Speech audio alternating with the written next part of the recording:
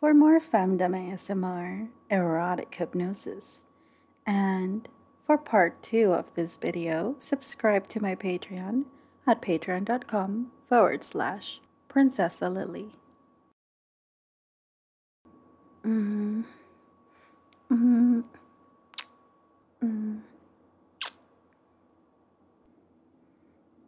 Mm.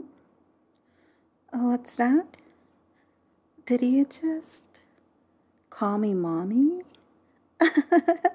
you did. I clearly heard you call me mommy. no, it's not that you called me mommy that surprises me.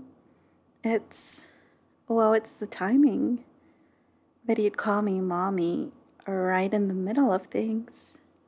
Well, was it an accident? Or were you thinking of something in particular? Weird? No, it's not weird. It's cute. Mommy is such a sweet word.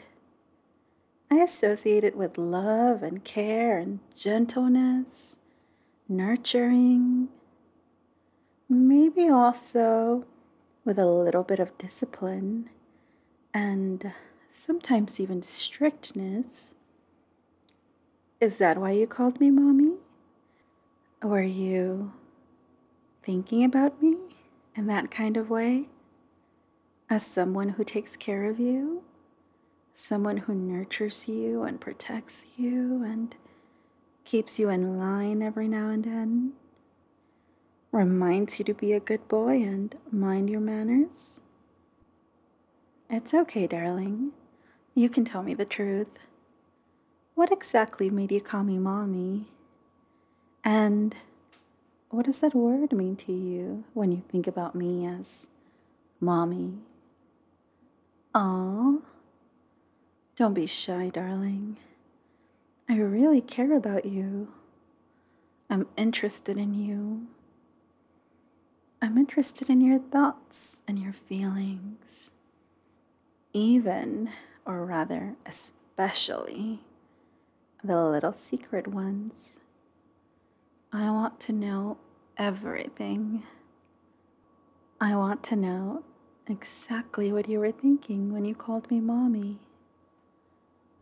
And how did calling me mommy make you feel? Oh, you're looking away. I can see I'm asking too many questions. I'm making you feel all shy and nervous, aren't I? Oh, come here. Why don't you just rest your head right here on my lap while I gently stroke your hair to calm you down just the way you like? Does that feel good? good. No, baby. I really don't mean to embarrass you or put you on the spot. I just ask because you are very special to me and I want to be real close to you. Like this. Doesn't it feel good? being this close.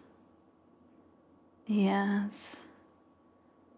And sharing your innermost private thoughts and desires and fears and secrets, fantasies. Well, all of that brings you just where I want you real close to me. So close that I can take good care of you. That's why I ask all these questions. I have innocent intentions, and that's all. And remember, darling, there's no wrong answer. I won't judge you. I won't laugh at you.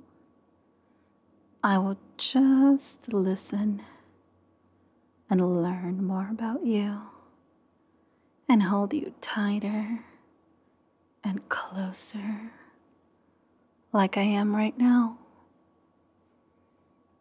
So, why don't I just hold you a bit longer while you relax and rest where it's nice and warm and safe in my lap and give it some thought? And we can talk about this some more tomorrow. Would that be okay? Mm, good boy.